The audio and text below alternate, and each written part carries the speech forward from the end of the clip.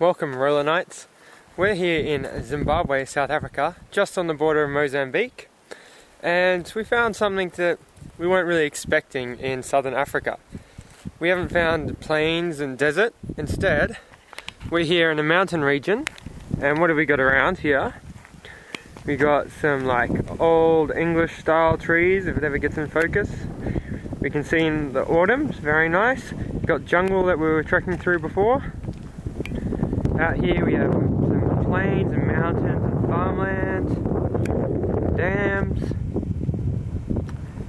Got little mountains over this way. Um, and just down here we have Mozambique, just over the border. And right now we are on top of a cliff. Excellent. So, we've just been in Zimbabwe a day now. Whoop, don't fall.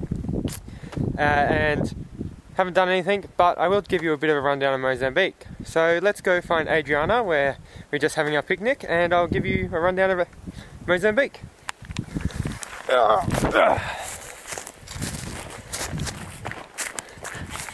Say hi, Adriana. Hello. This is uh, where we had our picnic. So a nice little viewpoint for us. So, let me tell you about Mozambique. So, Mozambique, uh, actually come a bit closer, Adri, because probably can't hear me very well. Okay. So Mozambique, well, it was a bit of a disappointment, unfortunately. It turned out it was really expensive. Uh, what we wanted to do mainly was scuba diving, and the weather for scuba diving was pretty shit, actually. So we didn't actually get to do any diving. It was also about $100 US a dive, so you know, a bit more in the Philippines where it's like $20 a dive. But we did have at least two really cool experiences, and we just had a generally good time. So, first experience, we went on an ocean safari. Now, the people we went with, they were pretty disorganized, which meant we left about midday instead of 10, like everyone else. However, that turned out to be really good because when we were going out, everyone else was coming back in. So we had this area of ocean just to ourselves. And what were we looking for in an ocean safari? Whales, whale sharks, and dolphins. And we saw all of them. We saw some whales doing their little jumpy things out in the distance. We saw some dolphins, and some people got in and swim with them. And then we found whale sharks, and we found like six, seven whale sharks, including two of them together. And we were the only people there, with about six of us on our boat. So we all jumped in the water, and we got to follow these whale sharks for ages. Like, we were probably in the water for about an hour of the two hours we were in there. And because we had so many whale sharks around, we could kind of split off and you could have a whale shark all to yourself for like 10 15 minutes, just you and them swimming along.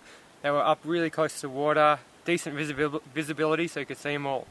So that was really, really cool. I've done whale shark, whale shark swimming in the past in the Philippines, and this was way better. Way more expensive, but way better. So the second thing we did, which was really cool, was started out bad we were driving along and we were driving on these highways and there were some potholes so we were taking it a bit easy. But the road got nice and clear and yeah it was all good. So we sped up to about 100 kilometers an hour. And then just as I was overtaking this truck you know I was getting up to about 110 120 to get around this truck come in and suddenly huge potholes everywhere.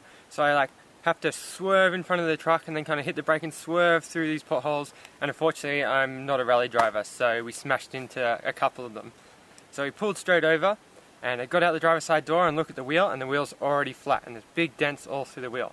So I run to the other side and that one, it's got dents in it and we can hear the air coming out but it's not flat yet. So we run and open the boot and we start smashing the rim of the wheel with the hammer and we managed to save the tyre. It was deflated but it was still alright. So what do we do? We spent a while, we changed all the tyres, we put the back ones on the front, we got our spare wheel out and ended up back on the road going very slowly. So we ended up in a village to get it fixed.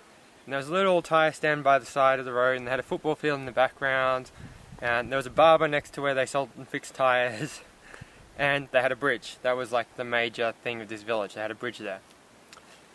So we got out and we started working on the tyres, and we were chatting to the locals while they were fixing our rims, bashing them back into place, inflating the wheels, and they seemed friendly enough. And we just saw across the road they had like something in Portuguese that said casa, which is house. So we're like, oh, let's check out if we can stay there. Turns out we could. So we decided to spend the rest of the day there. So that meant, what do we do? Well, I had a football with us to Africa that I've been trying to play with kids with, so we got out the football. But first, we went to a barber shop. This barber shop, they were running on batteries from a car, so it was a bit iffy. However, I was like, yeah, cool, let's go for it. So, just straight shave, and with a big audience of people watching through the windows and the door, uh, I got my head shaved. And then we went and played football with the locals, and that was awesome fun. We had probably about 12, 15 people playing, and they ranged from like 8 year old girls to like 25 year old guys. Every male who was over 15 had a six pack, so they were pretty fit, and they completely destroyed us. Got a few shots in, Adriana got a few shots in as well. We had fun. Uh, we got massacred, they were doing their little tricks and just running around us in circles, but all great fun. And then that night we got to sleep in a rondavel, which was a mud hut with a sachet, like a straw roof. So it was, turned out to be an excellent day. Uh, the rest of the trip, again, mainly just driving and stopping on places, nothing exciting.